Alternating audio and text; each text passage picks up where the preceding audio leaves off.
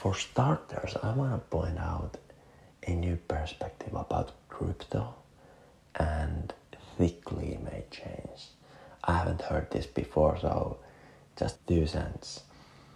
Mm, imagine in 10 years, let's say, mm, I'm sure the most common cryptocurrencies will be more stabilized and normalized than they are now.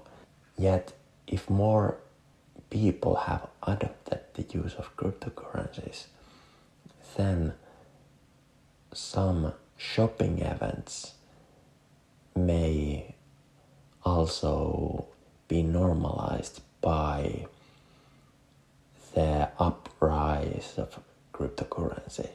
For example, if shopping activity accelerates, you know, certain events, then the price of the currency might go up during those events. As we have seen, you know, we are getting near Christmas and usually around these times the cryptos have also surged up.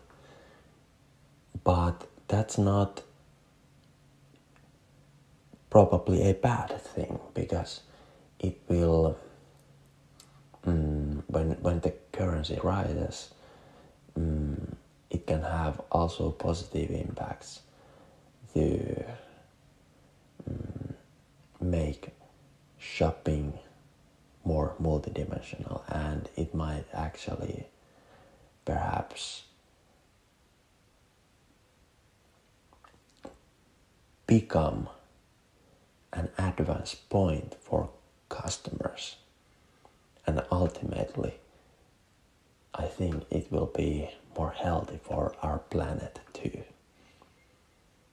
Yeah, just your two cents about environment and cryptos. If you have found some perspective how cryptos will be positive for the planet and for our environment, let me know here. When the main street or mainstream is buzzing about Bitcoin and cryptos again, here is a funny reminder and two cents back to the first surge of Bitcoin um, a couple years ago, a few years ago, and back to this day. Let's go. DNA, which stands for deoxyribonucleic acid, is the most complex molecule in the universe. Unbelievably complicated molecule. Average person has 50 trillion cells in their body with 46 of those little molecules in each cell. 46 chromosome strands in each cell of your body. If you extracted all of it, it would only fill about two tablespoons. But if you took those DNA strands and unwound them, stretched them out, tied them together, one person's DNA would reach from Earth to the moon and back over half a million times.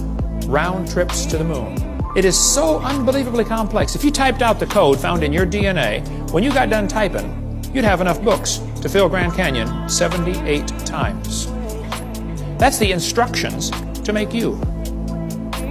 I'd say you're pretty special. Quite a list of instructions to make you.